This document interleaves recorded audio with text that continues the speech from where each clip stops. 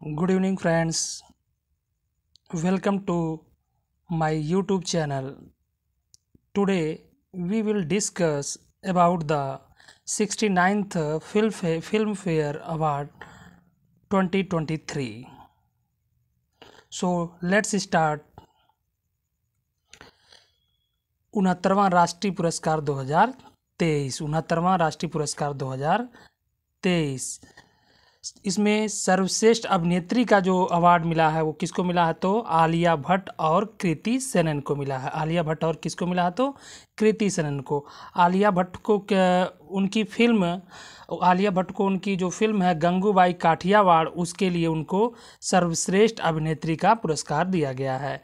कृति सेनन को उनकी फ़िल्म मिमी के लिए, उनकी फ़िल्म मिमी के लिए अवार्ड दिया गया। उनकी फ़िल्म मिमी के लिए ये अवार्ड दिया गया है। और इसमें देखते हैं सर्वश्रेष्ठ अभिनेता का जो पुरस्कार मिला, वो किसको मिला है? तो सर्वश्रेष्ठ अभिनेता का पुरस्कार अल्लू अर्जुन को मिला है। अल्लू अर्जुन को मिला है। उनकी फ़िल्म थी पुष्पा द राइज। उनकी फ़िल्म का नाम क्या ना था? तो पुष्पा द राइज। सर्वश्रेष्ठ निर्देशक का पुरस्कार जो मिला है, वो उनको, किनको मिला है तो निखिल महाजन को मिला। किनको मिला है तो निखिल महाजन को मिला है। उनकी मराठी फ़िल्म मराठी फ़िल्म का नाम है गोदावरी, उसके लिए उनको क्या मिला है तो सर्वश्रेष्ठ निर्देशक का पुरस्कार मिला है।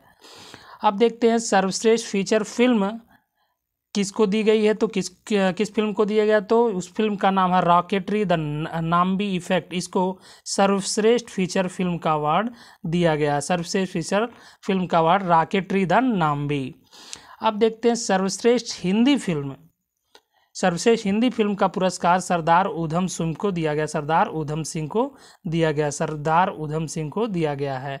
उसी प्रकार आगे हम देखते हैं, नरगिस दत्त पुरस्कार किसको दिया गया? तो द कश्मीर फ़ाइल को दिया गया। The Kashmir the Kashmir file को पुरस्कार दिया गया, द कश्मीर फ़ाइल को पुरस्कार दिया गया है। तो आज के वीडियो में बस इतना ही। Thank you thank you to watch the video.